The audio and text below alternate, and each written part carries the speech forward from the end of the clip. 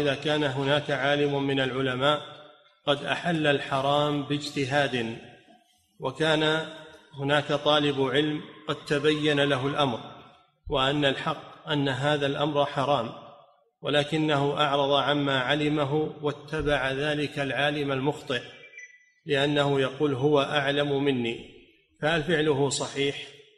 لا ما هو متبعه إلا وافت هواه إذا وافق قول هذا العالم الخطأ وافق هواه أخذه قال هذا بذمته أنا ما عليه لأنه وافق هواه. ولا لو يخالف هواه له حق ما يبيه.